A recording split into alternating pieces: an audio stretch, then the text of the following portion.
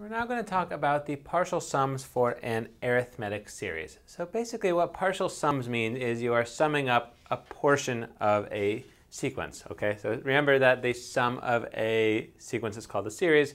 So when we add up a portion of the sequence, we just get what's called a partial sum, okay? So we're just adding up some of the terms in the sequence. And we actually have a formula for the sum of an arithmetic sequence. And how it works is S of n, so this is the sum of the first n terms in this series, is equal to n over 2, so that's the number of terms. And then it's the a sub 1, the first term, plus a sub n being the last term. Okay, so this is a really good formula for you to remember. There is actually another way to write this as well. And you can either remember it, which I tend not to, I have a really bad memory, or you can derive it, which is the way that I do it. Okay? So a sub n is the nth term. We have an equation for that though. We have the general term, which is a sub n is equal to a sub 1 plus n minus 1 times d.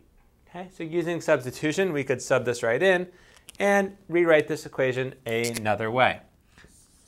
S of n is equal to n over 2 stays the same.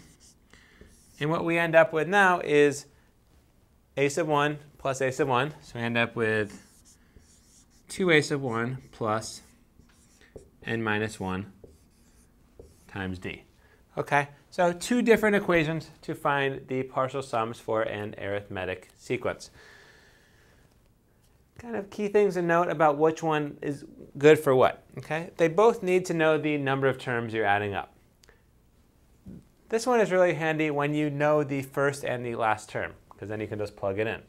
If you don't know the last term though, and you know the difference instead, this bottom one is a convenient way to use it because you don't have this, you can use this instead. So they're both great, but they come in at different times depending on what you have available to you. Okay, you could always just remember one, but then you're going to have to figure things out along the way.